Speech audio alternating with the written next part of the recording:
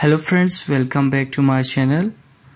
In this video I'm gonna show you how to validate our research questionnaire.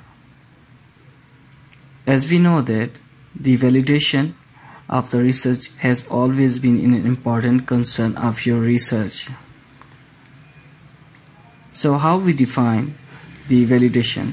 Validation basically is a process of checking or declaring something officially acceptable and what is the difference between the validity and reliability?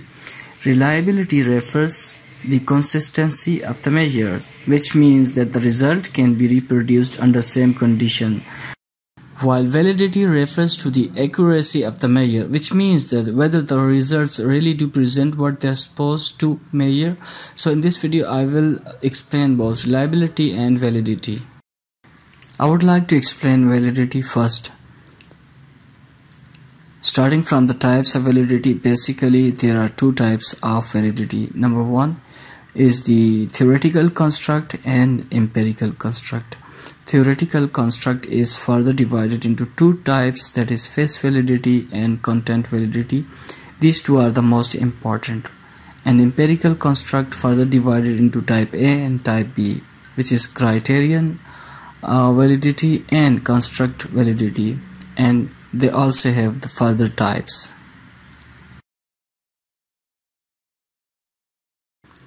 Number one is the theoretical construct which further divided into face validity. Face validity means the the person uh, expert of your topic go through your research work. He can be your supervisor, external expert, or you can take the help from the statistician. And number second is the content validity. For example i'm asking a question in the questionnaire that salicylic acid or aspirin is prohibited in dengue shock syndrome. And i'm going to validate this same question through literature review. For example the world health organization says the same thing that aspirin and ibuprofen is prohibited because of the risk of bleeding. Criterion validity is the second one and the subtype is predictive validity. In this type of validity, we assess the questionnaire for future events.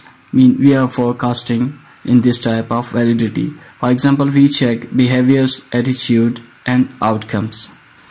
Furthermore, a good example for this type of research is to check the questionnaire for the medication adherence to medication to predict the future outcomes such as systolic blood pressure control. The second subtype of criterion validity is concurrence validity. In this type of validity, we assess the newly developed questionnaire against high-rated existing standards. For example, a good example of this type of the validity is our principal investigator is checking the sugar values in during his visit in the ward and compare with the lab. Construct validity. Construct validity is the second major type of empirical validity and this is the degree to which an instrument measure the trait or theoretical construct that is intended to measure. It doesn't have any criteria for the comparison, rather it utilizes a hypothetical construct for comparison. And basically, it measures how meaningful the scale or the instrument is when it is in the practical use. There are four subtypes. They are convergence validity, discriminant validity, known-group validity, and factorial validity. Now our second topic is reliability.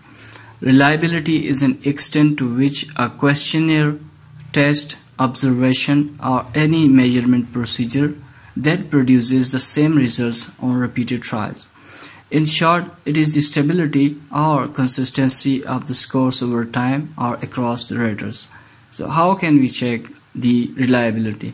We can check by test retest, equivalence and then by internal consistency. Number one is test retest. This is also called as stability check. In this case, we administer the same questionnaire to the same group but at different times. And the second one is equivalence. Equivalence is also called as alternate form reliability. In this case, we administer the two different form of the same test. However, it should be noted that the different form refer to the questions are different form but, the but they construct the same meaning of the question. Number third is internal consistency. Internal consistency is a type of reliability, is a way to measure how well a test or survey is actually working or measuring what you want to measure.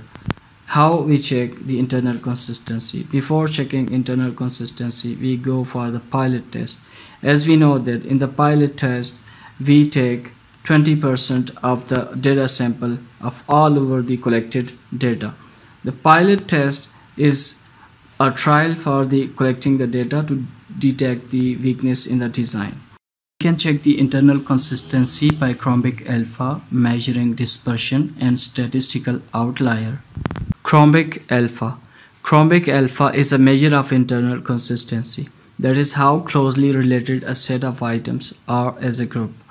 Values are ranges from 0.60 to 0.70. If the values are less than equal to 0.9, the results are excellent. If the values are less than or equal to 0.5, the results are unacceptable. Measuring dispersion.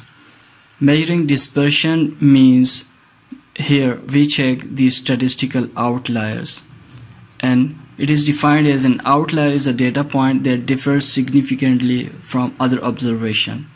You can see by chart that the data which are significantly fall outside the results they are identified. So thank you so much for watching my videos and subscribe to my channel for my future videos.